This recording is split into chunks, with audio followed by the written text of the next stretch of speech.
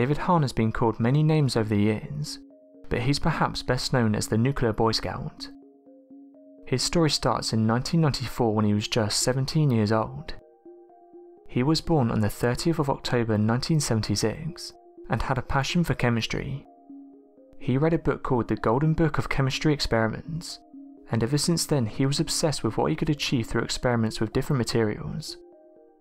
After this, he was talking to his friends and announced that he wanted to start collecting every element in the periodic table. This included radioactive elements. David then went about setting up his own room so he could do these experiments. This ended up being in his bedroom in his father's house. During this time he was only 14 and although he was learning very quickly his parents were worried.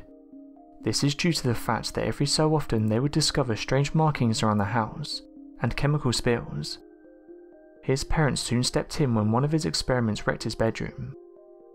After this his father told him that no more experiments would be happening in the house However, he soon took his passion into the basement where he carried out even more tests.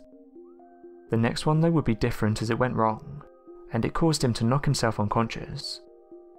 His father told him that he wasn't to carry out any more tests, but he didn't listen and set up a laboratory in his mother's house. During this time, David participated in Eagle Scouts and was aimed to earn a merit badge in atomic energy. Not far off from his 15th birthday, he was awarded the Atomic Energy Merit Badge. This then gave him the confidence to create a breeder reactor. For those not aware, a breeder reactor is a nuclear reactor that generates more fissile material than it consumes.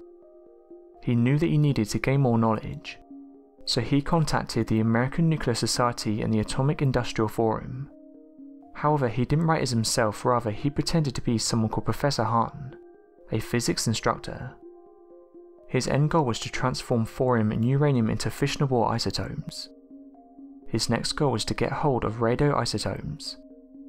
He managed to get hold of a Czechoslovakian firm that sells uranium to commercial and university buyers. As before, he claimed to be a professor and was able to get hold of a few samples of a black ore. After this, he went around the house to try and find small amounts of radioactive materials. David made a breakthrough when he was able to find a large quantity of radium from an old table clock he got from an antique shop. Inside was radium paint, and after extracting it he was ready to start his experiment. After a few tests he did in fact manage to create his breeder reactor inside the shed, but things soon started to take a turn for the worst. Not long after the experiment he discovered there were high levels of radioactivity, he then started to worry thinking he was putting himself and others in danger. After some further failed experiments to counter the radioactivity, he soon realised the Geiger counter was picking up radiation from five houses down from where the experiments were taking place. He knew that it had to be dismantled, but as he was doing this police arrived at the site while responding to a complaint call from a neighbour. They quickly searched David's car and discovered the chemicals along with the reactor, the officers took him in for questioning and eventually took away his equipment. This caused him to have a downward spiral, and after further failed attempts at building another reactor, he passed away at the age of 39.